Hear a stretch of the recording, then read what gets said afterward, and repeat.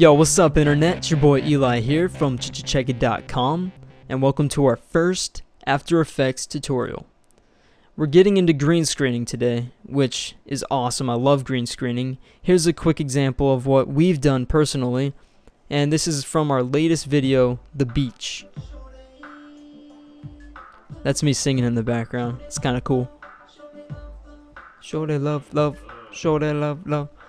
Anyway, I got a lot of questions asking me how I did that after the video is put up. And it's actually really easy. First, just bring up After Effects, and you should get a pop up window saying, Do you want to make a new composition and stuff? Just close out of it because we're going to be making our own composition. Go to the Project tab, double click in this blank canvas area, and a window will pop up and it's a browser window so find the footage that you can download at chchcheckit.com for free. Just find this tutorial there and you'll be able to download these four videos. Now these four videos are in HD and they're very clear and crisp because we use something called a Hauppauge HD PVR and I highly recommend that when you're filming in HD you're gonna want HD footage because regular footage which is called standard def, you get a lot of correlation on the edges. It's blurry and it's just does not come out good. So, Christmas is coming up. Put it on your Christmas list, whatever. If you're a little kid doing this, or if you're an adult doing this, ask your wife or something. I don't care if you're a man. Just go out and buy one. It's like 200 bucks, which is pretty expensive, but it's worth it, believe me. Now, the area that we film at on Guardian you just hop up from the lift and it, this is the area where the invisibility spawns and you just hop up on this ledge and you have a clear shot at a bunch of green in the background.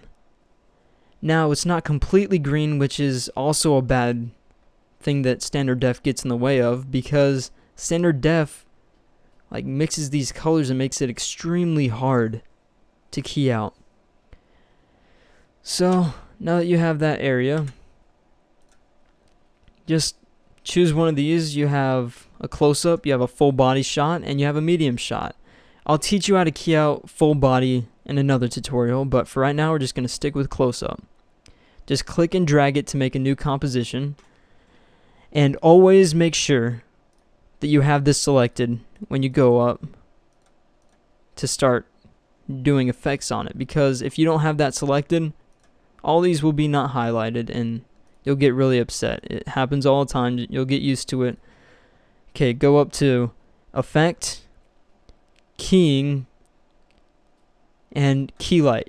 Keylight is extremely powerful. It is amazing.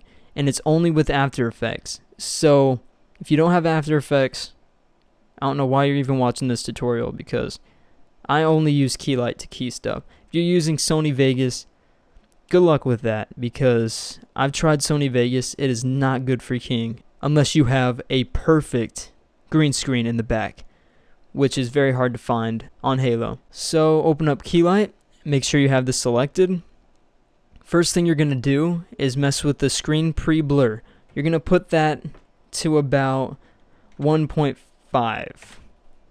Now when you're messing with HD footage, you don't need to put it up that high, but if you're using standard def, you're going to want to put that up to about 3.5 at least or above.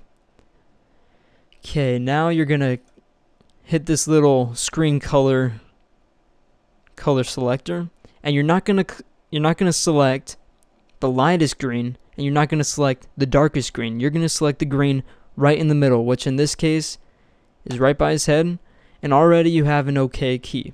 Next, you're going to go to where this View tab is, and you're going to go to Screen Matte.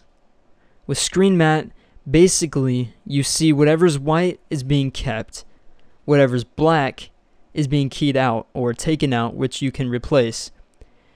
And the gray is just what you want to try to get rid of in the white, and the gray and the black is what you want to try to get rid of too.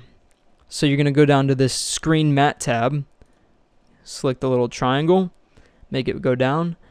Here's where it gets interesting.